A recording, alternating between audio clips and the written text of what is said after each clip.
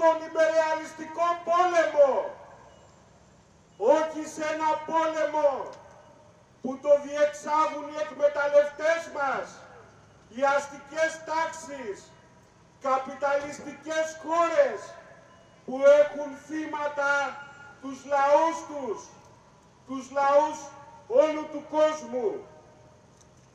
Δεν έχουμε κανένα συμφέρον να συστρατευτούμε με τους, φαγί, με τους φαγείς μας, ούτε με τον έναν, ούτε με τον άλλον, ούτε με τη Ρωσία που θέλει να προωθήσει το σχέδιό της για την καπιταλιστική ενοποίηση των χωρών της πρώην Σοβιτικής Ένωσης, ούτε με τις Ηνωμένες Πολιτείες, το ΝΑΤΟ και την Ευρωπαϊκή Ένωση που θέλουν να περικυκλώσουν τη Ρωσία, που στηρίζουν αντιδραστικές κυβερνήσεις, φασιστικούς μηχανισμούς και παραστρατιωτικές ομάδες. Διαδηλώσαμε ενάντια στην ενεργή συμμετοχή της Ελλάδας σε αυτούς τους ανταγωνισμούς, ενάντια στην πολιτική της κυβέρνησης της Νέας Δημοκρατίας, αλλά και όλων διαχρονικά των κυβερνήσεων που έχουν στηρίξει όλα τα σχέδια του ΝΑΤΟ, που έχουν μετατρέψει τη χώρα σε μια απέραντη νατοϊκή βάση.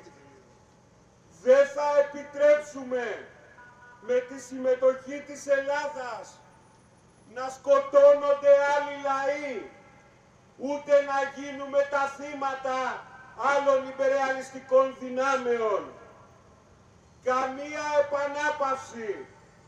Ο λαός δεν έχει τίποτα να κερδίσει από την εμπλοκή στα κλιματικά σχέδια των Αμερικάνων, του ΝΑΤΟ της Ευρωπαϊκής Ένωσης, στην υπερεαλιστική αντιπαράθεση ή παρουσίας.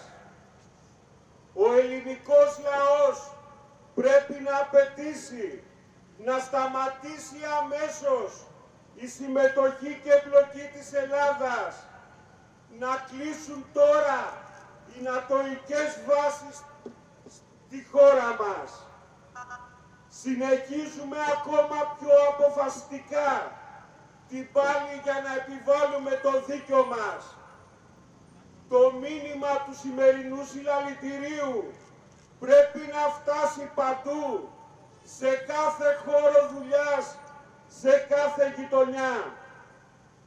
Θα συναντηθούμε και αύριο με πάρα πολλές χιλιάδες ακόμα στο μεγάλο συλλαλητήριο στις 12 η ώρα στο Σύνταγμα που διοργανώνουν συνδικάτα και μαζικοί φορείς.